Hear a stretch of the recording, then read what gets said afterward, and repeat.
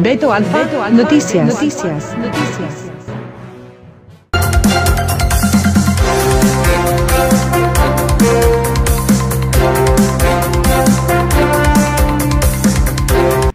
Hola, ¿qué tal amigos? Muchas gracias por estar en otro video más. Feliz inicio de semana a todos. Oigan, el día de hoy el presidente Andrés Manuel López Obrador da una gran noticia, una gran noticia, pero para los centroamericanos, no para los mexicanos. Siento arruinarles su día, pero lo que hoy pasó en la conferencia mañanera es algo muy, muy, muy cabrón ya que estuvieron personal de la CEPAL y de la ONU en la conferencia con el presidente López Obrador, donde dieron a conocer el nuevo plan de desarrollo para Centroamérica y según ellos con esto frenará la emigración hacia México. Pero con lo que no contábamos y con lo que el presidente jamás dijo en campaña es que todos nuestros impuestos y los recortes que se están haciendo a los programas sociales en México se van a invertir en Centroamérica, así como lo oyen. Y los recortes a los programas sociales se van a ir para Centroamérica. Sí, señores, así como lo oyen. Alicia Bárcenas, Marcelo Ebrard, Andrés Manuel López Obrador y la ONU hicieron este plan de desarrollo que hace unas semanas anunció el presidente López Obrador y que el día de hoy se dio a conocer y según ellos con esto frenar la emigración. Pero que no se le olvide al presidente Andrés Manuel López Obrador que la emigración no solo es de Centroamérica, ya nos están invadiendo gente de todo el mundo de África, de Indonesia, de Pakistán, de Afganistán, de Uzbekistán, de la India, de, China, de Filipinas, de Sierra Leona, del Congo, de Nigeria, de Nepal, de muchas partes del mundo, del Caribe, de Haití. ¿Cómo es que piensa el presidente Andrés Manuel López Obrador frenar esta emigración, esta invasión masiva, si el plan solo es para Centroamérica? Tus impuestos mexicanos se van a ir a Centroamérica, a desarrollar Centroamérica. ¿Y dónde quedan los estados pobres de México? ¿Dónde quedan nuestras gentes pobres de las zonas altas de México? ¿Dónde? Así como también dijo Alicia Bárcenas, presidenta de la CEPAL, que dejamos a un lado la seguridad nacional. Dejemos a un lado eso. Primero preocupémonos por la seguridad de los emigrantes. Oiga, me escuché bien. O sea, hay que dejar a un lado la seguridad nacional de nuestro país. Eso no importa, lo que importa es que los migrantes estén seguros en nuestro país. A ver, entonces la seguridad de México no le importa al presidente López Obrador, así de claro. La seguridad de nuestro país no le interesa ni a la CEPAL, ni a la ONU, ni al presidente de México. Está cabrón, señores. Esto está cabrón. ¿Cómo es posible que dejen a un lado la seguridad de México? La seguridad de nuestro país la seguridad de todos los mexicanos. Hablaron del desarrollo de Centroamérica, del desarrollo para los centroamericanos, del desarrollo de la educación para Centroamérica, pero jamás hablaron de cómo va a beneficiar ese tratado, ese plan, ese pacto a los mexicanos. Si lo único que están haciendo es usar tus impuestos, nuestros impuestos, irlos a invertir a Centroamérica. A chingar, ¿y dónde quedan los 63 millones de mexicanos en la pobreza?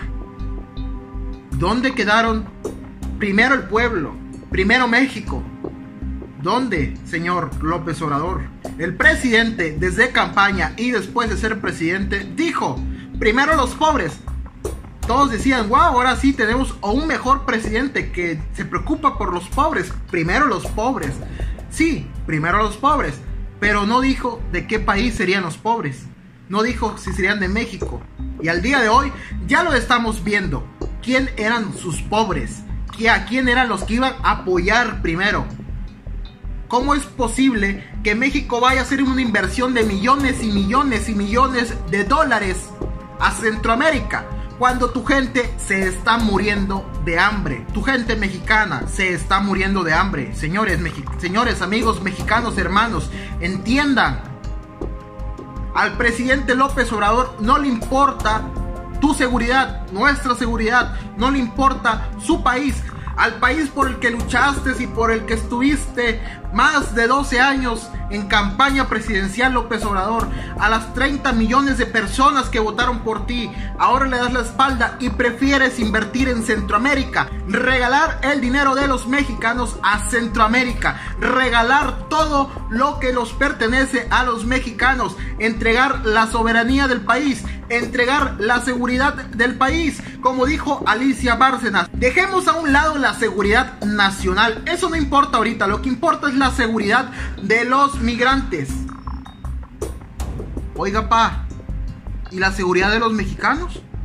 ¿Y la seguridad de los mexicanos y la seguridad nacional de nuestro país? Ellos dicen, no importa, la seguridad nacional no.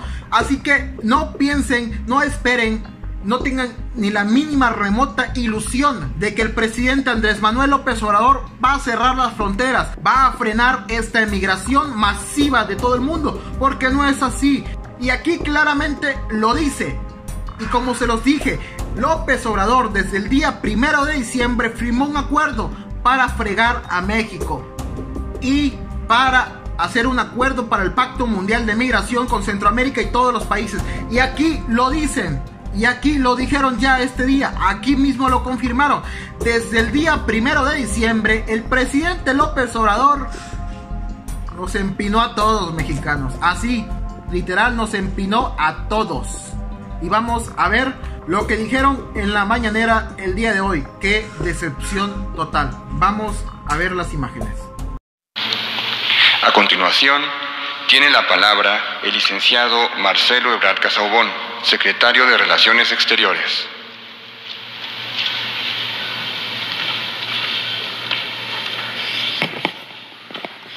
Muy buenos días, con su permiso, señor presidente, darles la más cordial bienvenida a las señoras y señores embajadores que nos acompañan el día de hoy, señoras, señores senadores, gracias por estar con nosotros, que hemos recibido mucho apoyo del Senado de la República, especialmente para este programa, y desde luego subrayar y agradecer profundamente la presencia de Alicia Bárcena y su equipo de la CEPAL, que el día de hoy nos van a hacer favor de presentar el documento que establece la estrategia de desarrollo para sur de México, para Honduras, El Salvador y Guatemala.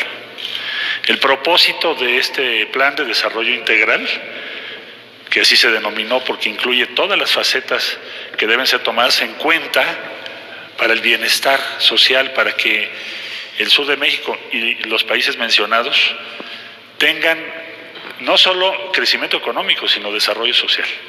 Entonces, en tiempo récord, se elaboró este documento con la participación de los cuatro países. Desde la transición, el señor presidente de la República nos indicó que esta es una gran prioridad para él y para la política exterior de México, que debemos ser corresponsables, comprometernos con Honduras, El Salvador y Guatemala, apoyarlos, respaldarlos y tomar su causa, la causa de su desarrollo, de su bienestar, como causa propia de México. A raíz de esta instrucción se empezó a trabajar con los países, con sus representantes diplomáticos, con sus cancillerías y posteriormente con sus áreas técnicas.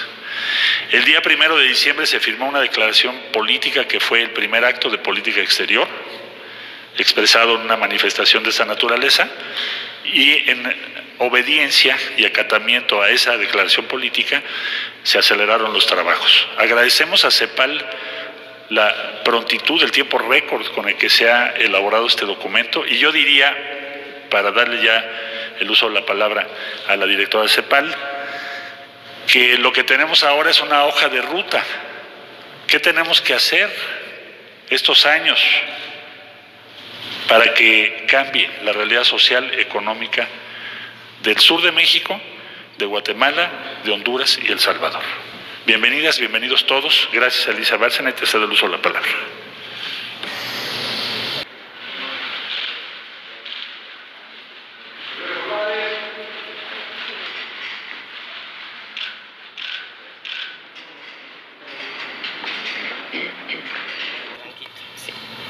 Muchas gracias. Muy buenos días excelentísimo señor presidente Andrés Manuel López Obrador, señor Marcelo Ebrar, señor Maximiliano Reyes, queridos embajadores designados de México, queridos embajadores de Guatemala, El Salvador y Honduras, queridas y queridos legisladores, muy bienvenidos, qué bueno tenerlos. Honorable cuerpo diplomático, colegas de Naciones Unidas, querido Hugo Beteta, quien coordinó realmente gran parte de este esfuerzo. Me es muy grato el día de hoy entregar la encomienda que nos hicieran los cuatro países. En realidad, para mí es un gran honor hacer esta presentación el día de hoy, porque en realidad pienso que estamos cumpliendo con algo que se inició el día primero de diciembre, señor presidente. Usted, el primer acto político que hizo el primero de diciembre fue firmar este acuerdo con los cuatro jefes de Estado. Aquí está destacado este evento. ¿Qué hicimos nosotros en la CEPAL? Primero tratar de entender el problema. ¿Cuáles son los motivos y las causas estructurales de la migración? ¿Por qué la gente se mueve? ¿Por qué la gente decide moverse? Bueno, en primer lugar, y obviamente las cifras las van a tener ustedes en sus manos, pero simplemente para que vean que la falta de empleo, la, falta de oportunidades económicas en su lugar de origen es una de las causas principales de la migración de manera tal que las personas declaran eso, eso es lo que ellos declaran, que es lo que dice el gráfico de la izquierda.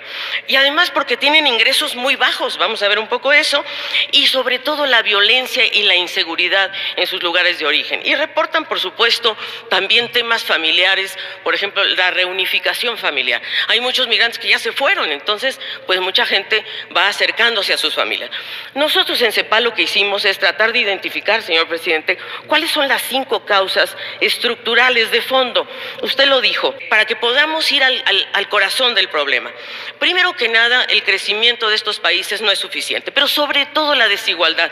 Imagínense ustedes que el 10% de mayores ingresos gana casi 70 veces más que el de ingresos, el de menores ingresos. 70 veces por caridad. Segundo, hay un alto crecimiento demográfico, las ciudades están creciendo muy dinámicamente y las zonas rurales muy rezagadas. El tercero es que hay muchas sequías e inundaciones. El patrón de lluvias antes era muy dinámico, habría dos siembras al año, hoy ya no se puede hacer eso. Solo tienen un, un patrón de siembras por, la, por el régimen de lluvias. Cuarto, es la región más violenta, del, una de las regiones más violentas del mundo. A mí me han preguntado si es más violenta que el Medio Oriente. Sí, más violenta que el Medio Oriente. Y quinto, hay un diferencial salarial con Estados Unidos. Vamos a ver un poquito esto. Miren ustedes, aquí yo estoy simplemente mostrando quién migra Fíjense que el caso de Guatemala, por ejemplo, vemos que los que más migran son los jóvenes. Los jóvenes entre 18 años y 35 años son los que migran más. ¿Y quiénes? Los hombres, hombres jóvenes. ¿Y quiénes? También las mujeres, obviamente, pero mucho más los hombres. ¿Y cuál es el gran problema? Y fíjense ustedes, hay mucha gente que no dimensiona. Estamos hablando de 33 millones de personas en estos países del, del norte de Centroamérica y México, pero solamente del norte de Centroamérica son 33 millones. Y Fíjense ustedes el problema. El problema es que estos 362 mil jóvenes que están entrando a la fuerza de trabajo y que quieren empleo, porque están en, edad de trabajar, solamente se generan 127 mil. O sea, ya empezó el déficit. Y esta es la, la, que yo quisiera, por favor, que se fijen, porque aquí sí que estamos muy mal, que es la brecha salarial entre Estados Unidos y los países del norte de Centroamérica. Por favor, vean ustedes que el ingreso medio de un trabajador es 10 veces más en Estados Unidos que en los cuatro países en los cuatro. Obviamente México es el que tiene un mejor ingreso medio, pero vénganse a la de la derecha, que es el salario mínimo. El salario mínimo es cinco veces mayor en Estados Unidos que en nuestros cuatro países. Y con todo lo que usted hizo, señor presidente, de subir el salario mínimo, ¿verdad? Aquí nosotros reflejamos el de, el de 2017, que era de 138 este, dólares eh, mensuales. Ahora usted lo puso ya en 158 o 160 más o menos. Pero aún así, México sigue siendo el país con el menor salario mínimo de toda la región. Así es que ese es un tema. ¿Qué proponemos? CEPAL propone cuatro cosas. Desarrollo económico, bienestar social, pero el desarrollo económico ahorita vamos a ver en qué. Bienestar social, vamos a ver en qué, sostenibilidad ambiental y algo muy importante, yo agradezco que estén mis colegas de Naciones Unidas, que es la gestión integral del ciclo migratorio. ¿Y por qué, señor presidente? Porque lo que se quiere es enfocar en seguridad humana, no en seguridad nacional. Eso ese es el cambio de paradigma, ese es el verdadero cambio, que nos vamos a ir a la seguridad de las personas, es decir, sus derechos, su medio de vida, su seguridad, y no la seguridad de las fronteras eh, en términos de seguridad nacional. Ese es un cambio muy importante. ¿Qué proponemos en materia económica? Y me alegro que ya ustedes escucharon un ratito de fiscalidad, porque pues por ahí va la mano también, es decir, fiscalidad progresiva. Vámonos a que todos estos ahorros, señor presidente, que usted está logrando, se vayan a inversión pública para potenciar la inversión total. Porque eso es lo que va, el puente entre el corto y el mediano plazo es la inversión, no hay más. Y la otra es eliminar privilegios fiscales. Usted se ha manifestado en eso y nosotros también. Estamos en contra de la cultura de los privilegios y una de ellas es la fiscalidad. Segundo, hay que fortalecer la administración tributaria. Aquí estuvo doña Margarita presentando el tema del SAT, eso es. Tercero, la transparencia y la rendición de cuentas. Aquí están los legisladores para mejorar la calidad del gasto y eh, reducir corrupción.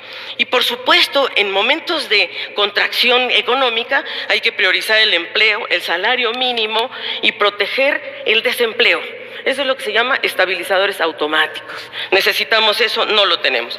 Y por supuesto, políticas de innovación, ciencia y tecnología. La renuncia fiscal, señor presidente, ¿de qué estamos hablando?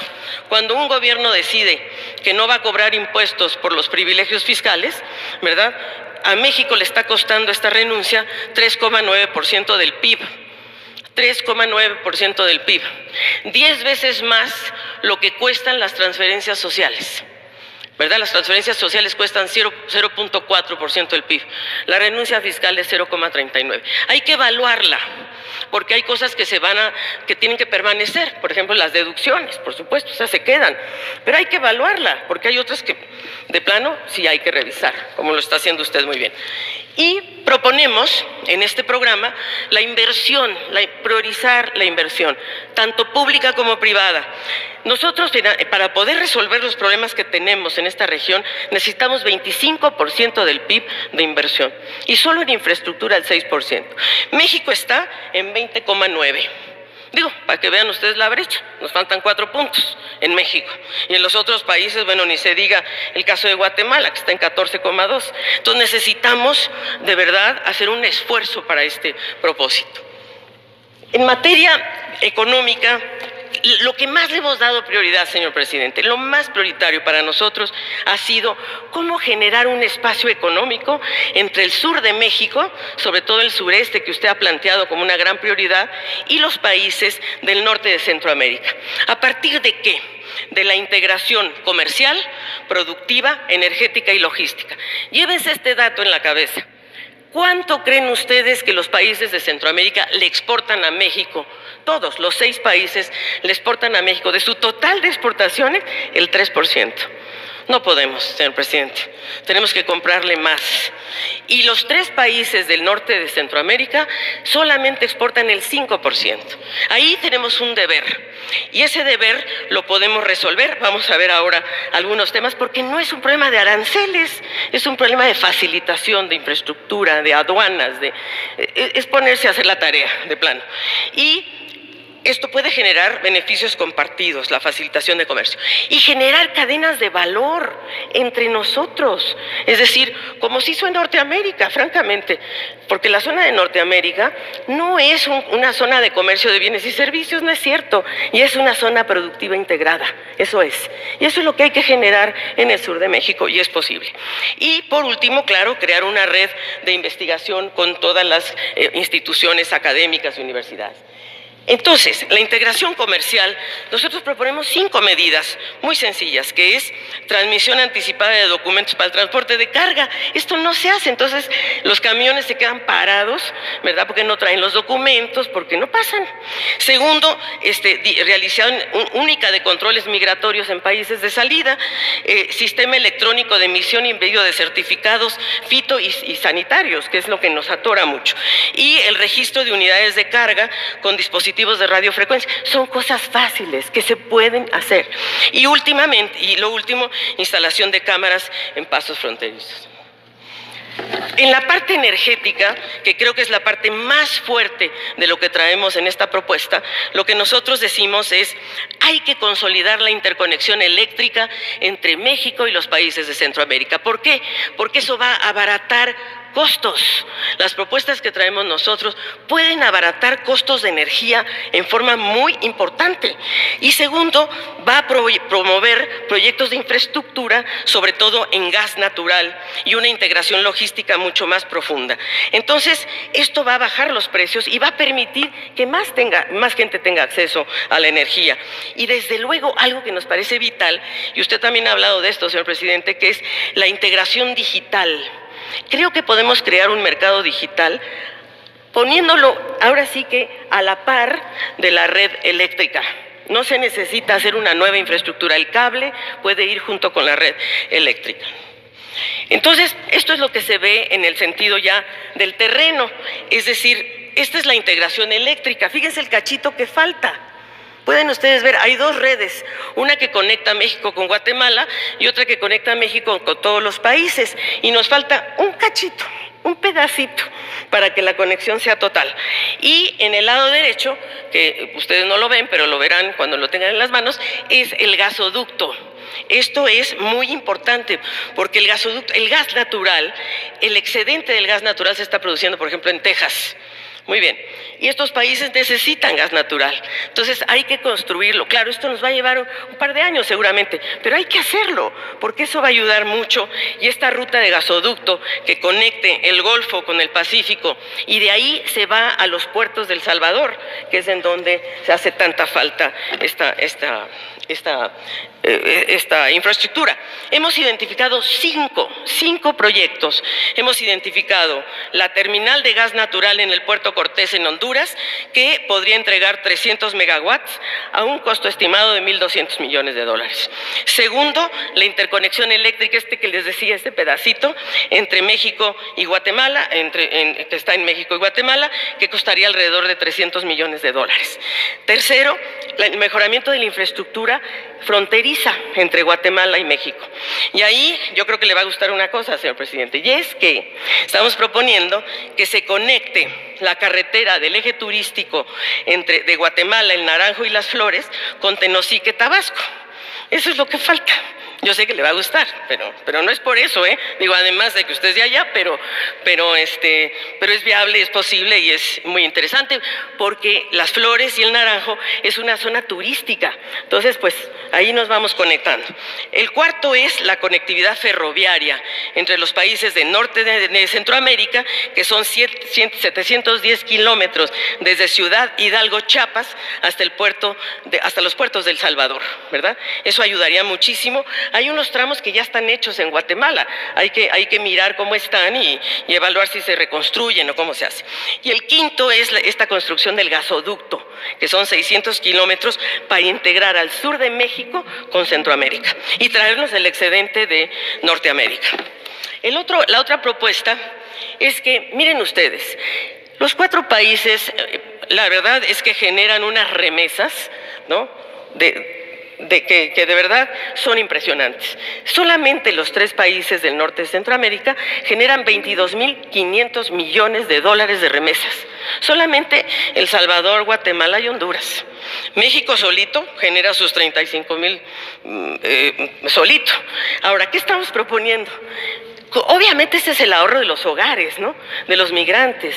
Pero ¿cómo lo hacemos más productivo? ¿Cómo les ayudamos a ellos? Primero a bajar costos de transacción. Les está costando carísimo mandar su dinero. Y solamente mandan el 10%, ¿eh? No es que manden el total de sus ingresos, no es verdad. Mandan un pedacito, el otro se queda allá. Entonces, lo que mandan, que les cueste menos. Segundo, que les sirva para, para armar su negocio, sus empresas, cadenas locales de, de producción cooperativas, cajas de ahorro, ayudarles a que, a que realmente se pueda en sus lugares de origen y apalancarlos como un punto de entrada del sistema financiero, que se puedan bancarizar. El bienestar social para nosotros, señor presidente, y esto lo hemos conversado con UNICEF, por aquí debe de estar el colega de UNICEF, hemos conversado con la jefa de UNICEF para hacer una red de escuelas seguras escuelas seguras para que los 500 mil niños, niñas y adolescentes se queden en sus lugares de origen. Fíjese que muchos niños abandonan la escuela. Por ejemplo, en El Salvador, casi 300 mil niños el año pasado abandonaron las escuelas porque les da miedo, por la violencia, por la inseguridad. Entonces, ¿cómo, cómo apalancamos un programa que pueda retener a 500 mil niños? Y eso quiere decir niños, niñas, adolescentes y sus papás, ¿verdad? Obviamente. Eh, ¿Cómo se otorgan becas? Académicas de sustento, cómo se promueve la movilidad laboral con los empleadores y los trabajadores para que sea trabajo decente, justo, con, buen pago.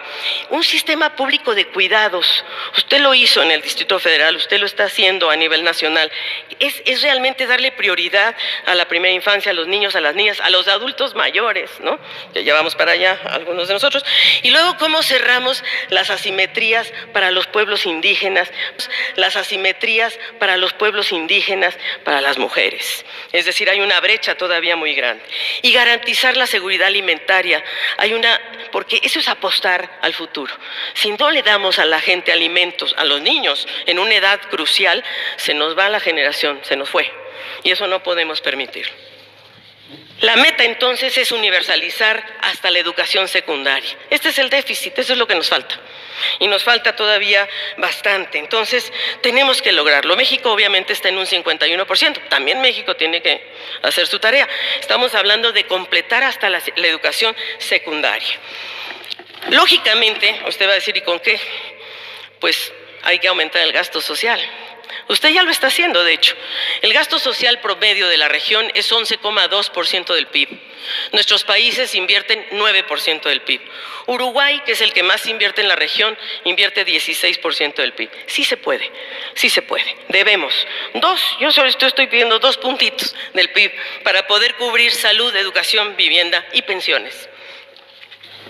Y por supuesto, el tema de la sostenibilidad ambiental y la gestión de riesgos. Estamos hablando de una, de una zona muy vulnerable a las inundaciones, a los huracanes, a la sequía. Imagínese usted, los pobres productores de Honduras, ¿verdad? Tuvieron que abandonar muchos de sus campos de café y de maíz porque hay sequía y ahorita está la sequía más dura que antes. Entonces eh, hay que meternos a, a, trabajar en ello y también reduzcamos la intensidad energética de cada cosa que producimos, pues bajemos el insumo de agua y de energía.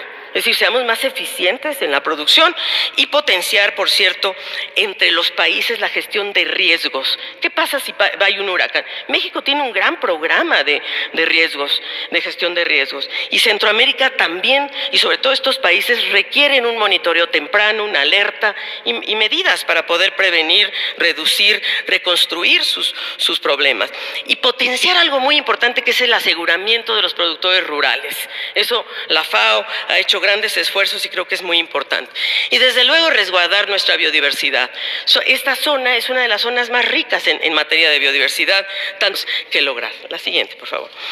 Y entonces, señor eh, presidente, ¿de qué se trata este programa?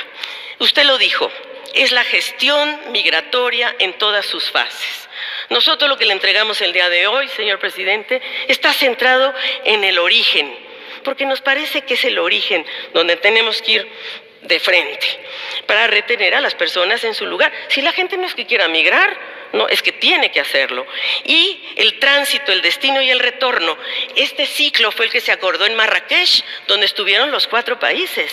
Entonces, ahí yo quiero darle crédito a todas estas agencias, fondos y programas del sistema. Son 16 agencias del sistema de Naciones Unidas que se dedican justamente, aquí está ACNUR, que es la agencia de refugiados, está la agencia de migración, la OIT, ONU Mujeres. Todas nuestras agencias tenemos que hermanarnos para apoyarlos a ustedes. Tenemos que venir a ponernos a su disposición, todos juntos, para trabajar en ello. Y por último, yo quisiera decir, bueno, obviamente de qué se trata el ciclo migratorio, usted lo dijo también, es poner los derechos de los migrantes y los refugiados en el centro. Eso es lo que nos importa, cuidar a las personas en todo su momento, incorporar el principio de no discriminación que si es chiquito, que si es gordo, que si no, nada. LGTBI, este, mujeres, indígenas, todos tienen derechos. Y propone políticas para atender a las personas desplazadas por violencia, por desastres. Y hay que actuar en los barrios pobres de las zonas urbanas, que están creciendo muy rápido.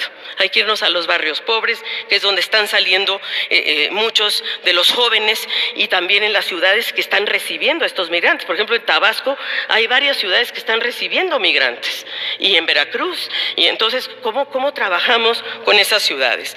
Y cómo incluir a migrantes, refugiados, solicitantes de asilo y retornados a estos sistemas de educación. Y por supuesto, construir acuerdos de portabilidad de derechos, para empezar con Estados Unidos, porque muchas veces regresan los trabajadores sin sus derechos, pagaron allá el seguro social, etcétera, y ¿por qué no se pueden? Tenemos que lograr que puedan, eh, digamos, transitar con sus derechos, con su seguro, con lo que hayan acumulado en la vida. Y por último, yo creo, señor presidente, obviamente sin falsa modestia, pero en la conjunción con su canciller, con los cancilleres de los cuatro países, consideramos que esta, esta propuesta es innovadora. ¿Por qué? Porque pone al desarrollo en el centro, el desarrollo como la solución y el desarrollo para que la migración no sea una opción, sea una opción y no una obligación. Usted lo ha dicho muchas veces, tiene que ser opcional. Obviamente no se va a evitar, la movilidad siempre habrá, pero que sea opcional. Y se busca precisamente construir este espacio económico entre el sur de México y los países de Centroamérica. Y integrar a la movilidad humana a un desarrollo con igualdad y con sostenibilidad. Tener este enfoque de seguridad en el empleo, en los ingresos, en la educación, en la protección social. Y creo yo, creemos desde la perspectiva de las agencias, fondos y programas, que esto realmente es una iniciativa la más integral que se ha presentado a nivel mundial. Así es de que creo que es la hora de convocar a todos los países del mundo a que nos vengan a ayudar a que esta región sea la más próspera. Muchas gracias.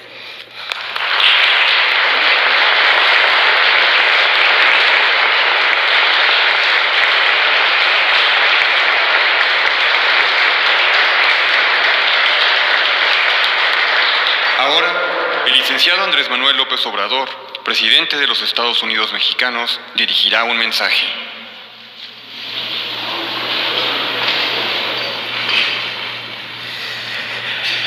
Agradecerles a todas, a todos su presencia. Es eh, muy importante la presentación de este plan para México y los países hermanos de Centroamérica. Es importante este plan porque va al fondo de el problema. Como aquí se ha dicho de manera muy clara, con fundamentos, con datos, eh, la gente emigra por necesidad, por falta de oportunidades de trabajo o por violencia. Y hay que atender esas causas. Hay que ir al origen de lo que está eh, provocando este fenómeno migratorio. Y no hay más que la cooperación para el desarrollo. No es con la fuerza. No se puede enfrentar el mal con el mal, la violencia con la violencia. El, mal hay que enfrentarlo haciendo el bien. La paz y la tranquilidad son frutos de la justicia. Por eso es muy importante este plan. Le agradecemos mucho a todas las agencias, a todas las organizaciones que han eh, participado, desde luego a la CEPAN, a Alicia Bárcenas, extraordinaria diplomática, economista, una mujer inteligente con dimensión social.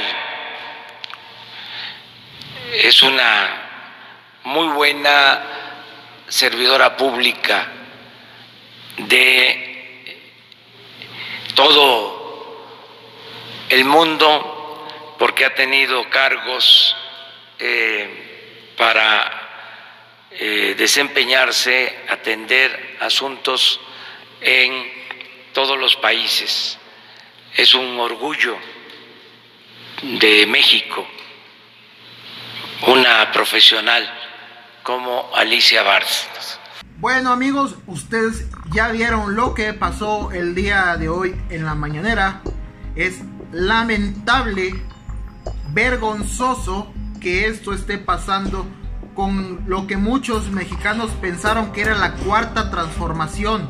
Morena, la esperanza de México. AMLO, la esperanza de México. Y qué decepción que no fue así. ¿Cuántos mexicanos, les pregunto yo a ustedes mexicanos, cuántos de ustedes votaron para que tus impuestos se vayan a invertir a Centroamérica? ¿Cuántos de ustedes votaron para que se haga la inversión, sea el impulso, el desarrollo en Centroamérica. ¿Cuántos de ustedes votaron para que las fronteras de tu país, de nuestro país, de nuestro México, estén completamente abiertas y le den refugio a todo el mundo? ¿Cuántos de ustedes votaron por lo que están oyendo y viendo el día de hoy? Yo creo que ninguno. Yo creo que ninguno votaron de esto, pero es hora de que todos los mexicanos abran los ojos, que tu dinero, mi dinero, tus impuestos, nuestros impuestos no serán beneficiosos para México. ¿Por qué? Porque para México está recortando el presupuesto para los programas más importantes de los mexicanos. ¿Y sabes para qué? Claro, para dárselos a los centroamericanos, para invertir en Centroamérica disque para frenar la emigración. Pero los últimos días hemos visto que la emigración ya no es tanto de Centroamérica, ahora es de todo el mundo entero. Ya no es solo de Centroamérica, es del mundo entero. ¿Cómo piensa frenar esta emigración cuando en México están recibiendo a personas de todo el mundo?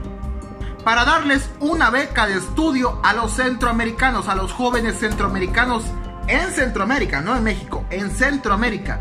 México les dará hasta becas de estudio a los centroamericanos. Increíble. ¿Tú votaste por eso, amigo? Te pregunto, ¿tú votaste por eso, por ese cambio? ¿Tú votaste por esas decisiones del presidente López Obrador, de la ONU, de la CEPAL? ¿Tú votaste por eso? Dice López Obrador, vamos a crear muchos más empleos como los que estamos creando en México, también en Centroamérica. Óigame, presidente, si es el año con más desempleo en México en muchos años, no se había visto tanto desempleo como el día de hoy, según datos de la INEGI. México está cayendo en desempleo hay mucho desempleo y me estás diciendo, presidente de México, que vas a crear empleos y que vas a desarrollar a Centroamérica cuando en tu país no tienen un trabajo, un sueldo ni una casa digna tus mexicanos que votaron por ti. Qué decepción, López Obrador. Qué decepción de esos mexicanos que aún no abren los ojos, de esos mexicanos que aún están dormidos. Demasiado dinero se está gastando para los migrantes de todo el mundo. Y dime tú, mexicano, ¿qué piensas? ¿Por esto votaste? Dinos qué opinas de ese tema. Déjanos tu comentario aquí abajo. Dale manita arriba, dale me gusta al video para que más mexicanos se enteren de la verdad. Y nos vemos en otro video. Bendiciones. ¡Viva México! Gracias.